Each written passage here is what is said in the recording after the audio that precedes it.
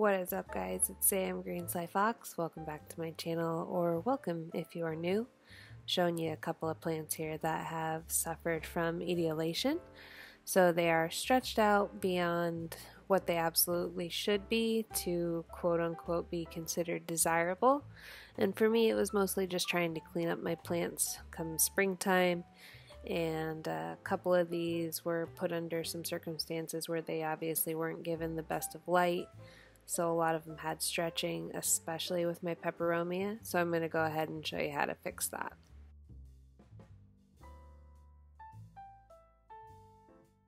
Right here is a node on my Chinese evergreen. So I'm going to go ahead and I'm going to snip that underneath the lowest one. There's one right below it. So I'm going to go ahead and I'm going to clip that there. This was kept on the far side of my room, so it was pretty dark but it did manage an entire season with almost no light. Like it's very far away from the windows that I have. So that node will produce an aerial root once it hits some water. This is the vine of my peperomia. This thing stretched so, so bad that if it were a Hoya, maybe it'd be considered okay.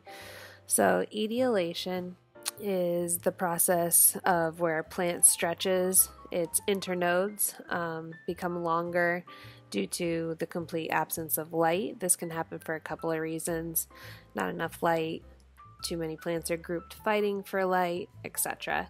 So, we're going to use a root hormone right here to go ahead and just repot this peperomia right down into some new soil instead of putting this one in water. We're just going to go ahead and stick it right in this pot here.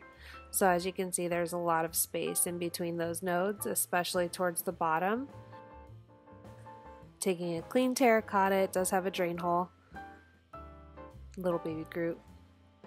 Get some fresh potting soil for this.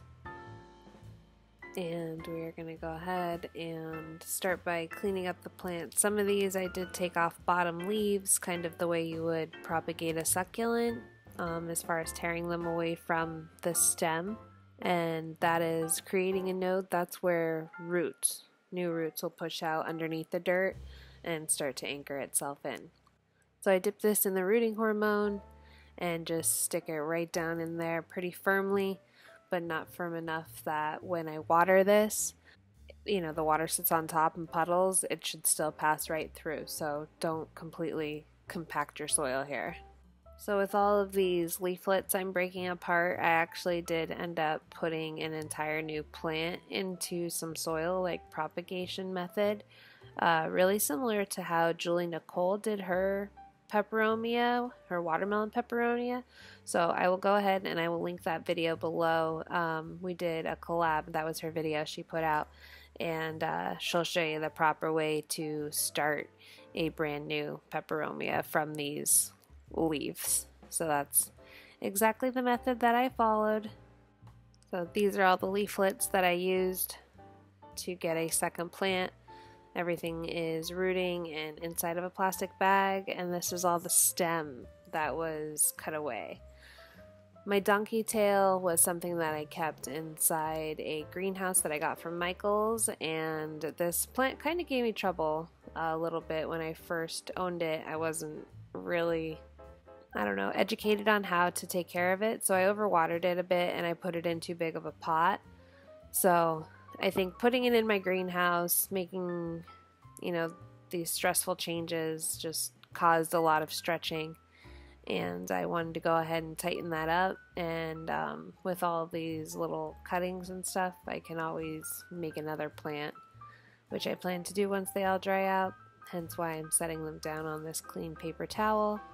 This one didn't seem too bad compared to the other one, um, maybe because the bottom uh, leaves were a little bit thinner and less chubby than the other one, so they didn't look as awkward as they stretched out. So I actually left this one a little bit longer than the other, and I did not bother to repot this one because I didn't think it was necessary.